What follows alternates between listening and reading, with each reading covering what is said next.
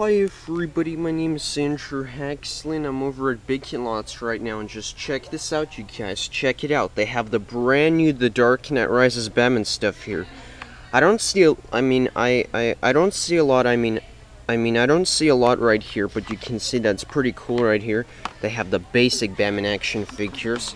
Um, a lot. They have different, uh, they have Batman in his different suits right here. You can see that this is the black suit that he wears. And it's pretty cool.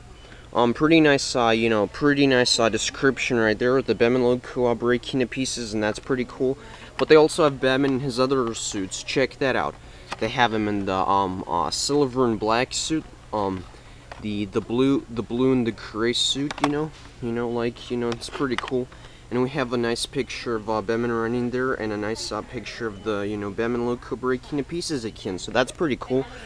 Um, anyways, though, I mean, they don't they also do have even more.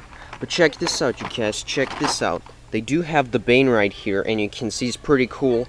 Um, I haven't actually found Bane at other stores. I only like I didn't find him. I just I just only found him here. Um, because he's pretty hard to find and come by by other stores, because he's right he's right with you know Batman, and you know I found him here, and he looks pretty cool. You can see you know that you know Bane is here. And also, he's a pretty hard to find, you know, action figure if you do ask me, so that's, you know, pretty cool. Um, a really nice uh, picture of uh, running right there.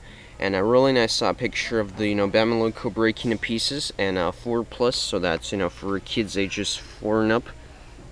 And that's pretty cool. Um, what I've noticed that was different about these uh, action figures is they came with no accessories.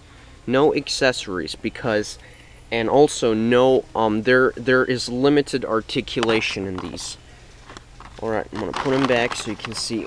Just notice how you know just notice how you know they don't have you know they don't you know they don't uh they don't uh they don't have articulation all. It's only limited so that's you know. I don't know why that happened though but i'm gonna put this back so you can see that you know there. Just trying to move it away though but you know. Ah think one of them fell, you know, off. So that's, um, but anyways, that's still pretty, uh, cool, you know. Um, really nice, uh, picture, a really nice picture of, uh, Batman, and, uh, and, uh, and, uh, and, uh, and a really nice picture of, uh, Batman, like, running with the glass breaking, so that's pretty cool.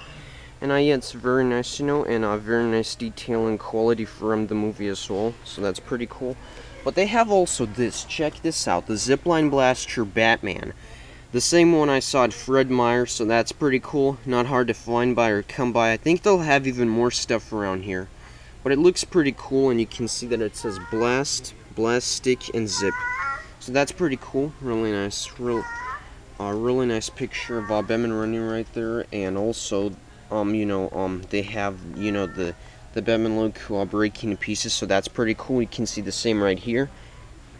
And also, um, it's pretty cool because you can see what, you know, it looks like, and you can see the kid with, you know, like, the role play items, the triple barrel grapnel gun, so that's pretty cool. And yeah, and uh, I've, I, uh, I, uh, I, uh, I, uh, I, uh, I hope you enjoyed this, and yeah, bye.